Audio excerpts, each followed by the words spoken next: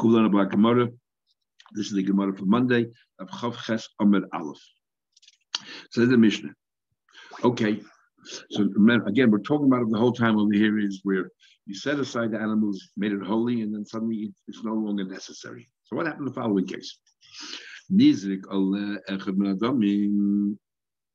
Right, so what happened here is we're talking about that the husband annulled, canceled the, the neder of his wife, and and the 30 days were up because how can he cancel the 30th day? Is because he only heard about it that day. Remember, by husband's only the day that he heard, the Yom Shabbat, heard on the very on the very last day, and now she's already about to bring kabbanis, and he decides to cancel it. So the question is, and we'll see what happens to those kabbanis. They should have she she basically obligated to read the kabbanis because she was a full Naziris. But the moment he cancels it, she's no longer a Nazir. So the Mishnah says, Called let's say she's ready in the last day and you started bringing kabbanas, you shechted the kabbanas, and now you sprinkle the blood. That's it. It's too late. The husband can no longer cancel um, cancel that net. we'll see later what the argument is. Rabbi Kiva says not only if you sprinkle the blood. Rabbi Kiva says afilu even so we're talking about an ordinary nazir, which is a full 30-day nazir, nazir tara, and you have to bring three animals, chatas and oil and the shlamim. And what happened was one of the animals' blood you already sprinkled on her. It doesn't make a difference which one of the animals you spread on her. You could no longer cancel the neder. Why not? Because because the din is the only reason why the husband can cancel the neder is because inui nefesh, which means that she's depriving herself of whatever it is. But since the moment you sprinkle the blood of one of the animals, she's already permitted to drink wine, so there's no longer inui nefesh. I about the haircut we'll discuss soon. So therefore, the, the moment you sprinkle is no longer inui nefesh, how can he have no right to cancel anymore? the haircut doesn't bother us. We'll see later because uh, she put on a, a wig. Um, Rabbi Kiva says Afilu nishchata ale achar kol Even forget about sprinkling, stage before. Even if you shechted even just one animal, you just shechted an animal on her, and you didn't sprinkle in the blood, he could no longer cancel. He can no longer cancel. Why can no longer cancel? The will explain because you are being. If you're going to cancel, then the chatzas gets. Uh, we'll see later. Gemara says to talk about a karma chatzas was the first animal. You're going to throw it away, and it's called you're you're you're destroying kachim in a proactive way. We don't want that to happen. Okay, so Kiva says even if you shechted one animal, that's it. She has to continue. And tomorrow say we're talking about the karma chatas. Any yachlaf, you can only cancel. We're talking about an ordinary case where she fulfilled the full 30 days and now it's a case of Torah. A regular Naziris of Tara. When it comes to um, tumah, if she, let's say, became tummy, and as a result of her becoming tummy, she has to now go ahead, you know, and wait the seven days and bring the kabbalas, and then start the 30 days again. In this case over here, she's bringing her, her animals now in tumah, the husband does have a right to cancel, even if the blood was spread in her. Why? Because afterwards she's going to start a new 30 days, and he can therefore cancel a neder because he can say, it's, it's inui nefesh, because he's depriving himself of wine for 30 days. Um, so the Mishnah Abu Tagrach that Tum Yofi has a right to cancel. He can say, I cannot take Isha Minovelis.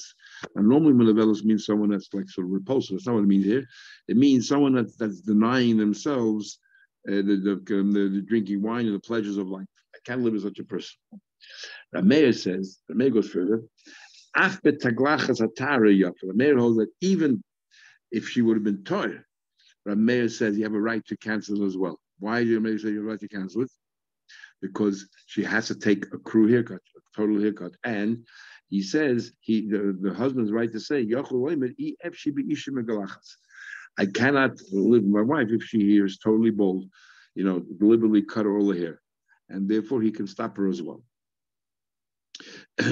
Even when she's just a regular toy, forget about the blood not the blood, doesn't matter. Even if you, you, you sprinkled all the blood, you can stop it right now. I don't want to go her to her to go through that last process of taking a total haircut. Telling about first of all, the logic of the Mishnah is because she can start drinking wine as soon as you sprinkle the blood of one of the animals. But not everyone agrees to that. So the Gemara says, "Must listen, like Rabbi Lezer, our Mishnah does not conform with Rabbi Lezer." What do you mean? Because he says, Taglachas Makevish. Ablezer says that as long as you didn't take your haircut yet, nor can you drink the wine. But the Gilcha, since she didn't take the haircut yet, Asir B'cham, forbidden wine, even though it can happen in 10 minutes, but the fact is right now, she still cannot, in theory, cannot drink wine. And therefore, the husband, uh, the, the husband then would have a right to cancel. How come our Mishnah says you don't have the right to cancel once you sprinkle the blood? Obviously, our Mishnah does not agree with Rabbi Lezer. Because uh, because uh, she cannot drink the wine, he has a right to cancel. So you want to know. So what's the argument? That's the argument. Hopefully, this is the argument. Tana Didan Sover, our Tana holds, Kivan the is Dam Altashai. Our Tana in the Mishnah holds the moment to sprinkle the blood of one of the animals, she's already permitted to drink wine. Only haircut she, uh, she still has to get, but she's permitted to drink wine. But if less than evil, so therefore there's no inui nefesh, there's no, she's not harming herself in any way, so therefore the husband has no right to cancel Kiva Ishchit. Okay, so that's and that's our Mishnah, and we don't agree with Rabbi Lezer. Let's understand the logic of Rabbi Kiva. Why does he say even if we just shechted one animal, we didn't sprinkle water all over Kiva? He holds afilu ishchitas behemoth. Even if you shechted one animal, you can no longer cancel. Why not? A side reason. Any You know why? Shem hefset kachik. Because what's going to happen to this animal? Since you no longer she's no longer knows it, so therefore there's no no point in continuing sprinkling the blood on the mizbech because you no longer need it. So you want it up later. It's not true. Lamai, let's say it was an oil or shlamim, lizrik let's say she no longer needs the oil or shlamim because she's no longer nazir, but you once you shechted, you can continue to spray the blood, even though you don't have any more in mind the right korban, it doesn't matter, you can still eat the korban. Lizrik damer shaloy let us sprinkle the blood, even though you don't have any more than mind the nazir. The yate bosa bachilan, you're permitted to eat the meat. So what's the big deal? Why, what do you mean you're mean massive, you're destroying kachim? You can continue the process. So why are you telling Rabbi Kiva telling me that even you just shechted an animal, that's it, you can no longer know because you're ruining you're destroying kachiminat because you can continue the process, sprinkle the blood, and the, and the people can eat the korban. How do I know that? Milatani, we learn the Braisa, Kifse said is on Shavuos you bring sheep, Shishachton Shalishman, and the problem was that you know you bring a loaf of bread and the sheep, and by shechted having the wrong kavana, you, you forgot to have in mind that yes, Shavuos, Shachton Shalishman, you shechted prior to Shavuos.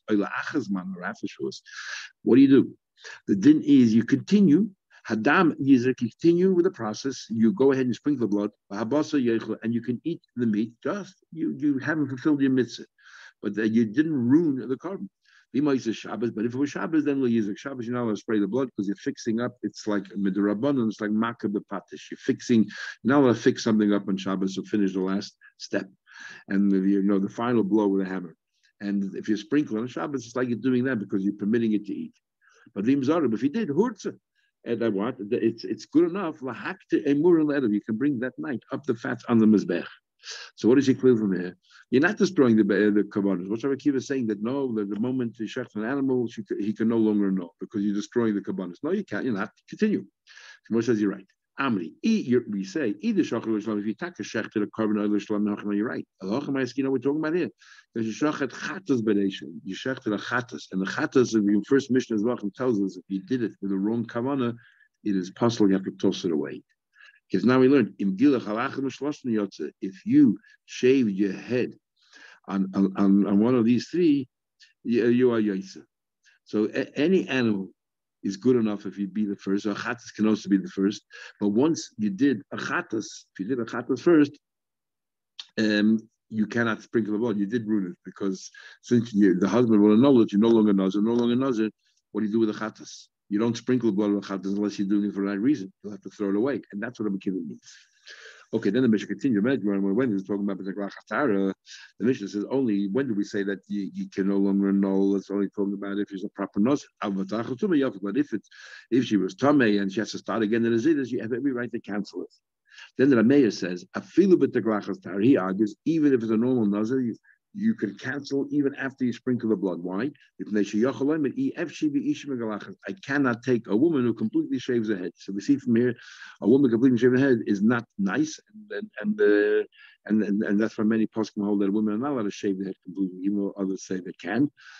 And um, as you will see in a minute, she can always wear a wig if you don't like her looking that way with a bald head. You could always get her to cover her head, so you don't notice it. So therefore, they say it's not such a big deal. Not that they're arguing on this point that shaving your head is not nice, it's ugly, but they say there's a way of overcoming it, at least short term. If it's short term, 30 days, you can you know live with it.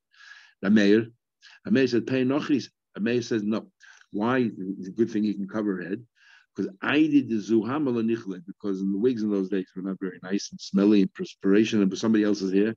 And because it was somebody else's hair, the husband doesn't feel comfortable that she wears this wig from somebody else's hair. And because those days was very smelly and so on and so forth. From here, they bring a proof that a woman can wear a wig, and that's and that's and that's kosher. Because you know, there's some people who hold that a woman cannot wear a wig; they have to wear other kinds of head coverings.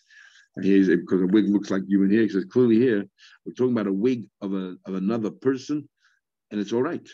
Well, the question is whether the husband likes that or doesn't like it. Okay, next Mishnah.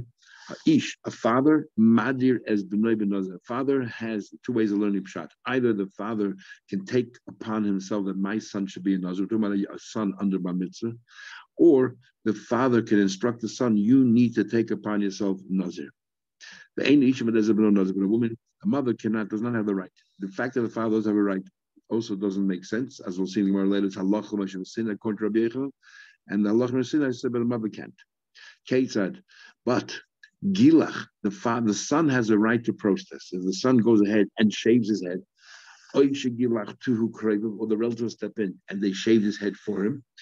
Or Micha, they protested. They should Micha the kid protested, or the relative protested, then you're no longer another. Some Shashayim hold it's only if the father died do they have a right to step up. Other holds no, even the father's alive. This is part of the halacha that others have the right to say to the say to the father's nuts. Why would you want your son to be another at his age? And therefore they can cancel the whole thing. Now, so what happened? They did cancel. And the same like the previous Mishnah. They, okay, he made a son a nazir, he set it aside, and now they came in and canceled. There's an argument if they if they also have a limited time frame where they can cancel, or they can cancel any time during the naziris. So some say once the child behaved like a nazir, they can no longer cancel. But let's say as soon as he set aside, as, soon as he instructed his son to become a nazir, he set aside some animals, and then the relatives came and canceled or the child came and canceled it. What do we do with those animals? Same thing as before. He had animals set aside. Hachatas Thomas. The chatas dies. Ha'oila tikra v'oila was an oila, and shlama yikra shlama shlama was a shlamim. But normal shlamim is two days and one night. Today, it's only um, one day and one night, and the Einan Tun Lechem does not require the loaves of bread which by a Nazir required because there's no kapi Nazir, there's no hand. And um, there's an argument whether you still bring the loaves, but you just don't wave it, or you don't bring the loaves at all.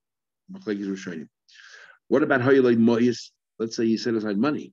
So if stumin, you didn't specify, then yipul and double. Allah says that you can use entire money for double. Mois for Russian, but if you set aside the money and you said clearly that this money, there's three, two ways of learning. If you clearly said a third of the money is chatzis, a third oil, a third shlamim, then that's what you do.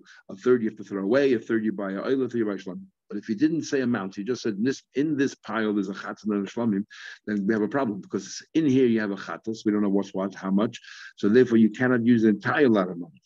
Is the mechatas yechli amel? One of the chatzis is toast to the yalamelach. Loinanin So we're talking about over here cases you specify that let's say a third, a third, a third. So the third of the money, which is chatas, you throw away. Loinanin, you cannot have any benefit from that money. Argument which rabbanon of the Torah, but you're not you're not over that very if you use the money stealing. And why not? Because when are you over stealing if this could have been used for the base of English and because of you it's not. Because this animal is going to be thrown away because the Yamamelech, so anyway couldn't have been used, so there's no there's no stealing. The me'oila, the money me'oila, you be bringing oil. Um, umoilman, if you use it for your own personal use, then you are considered stealing. The may shlamim, but if you use the money of a shlamim, the money of shlamim, you be by shlamim, and there there's no meila by shlamim. If you use the money for yourself, there's no stealing until at least until sprinkling of blood. And and we eat it only one day, like the shlamim of a nazir, and it doesn't require bread. Okay, we'll stop over here and we'll continue tomorrow morning in Mitzvah. We can do tomorrow morning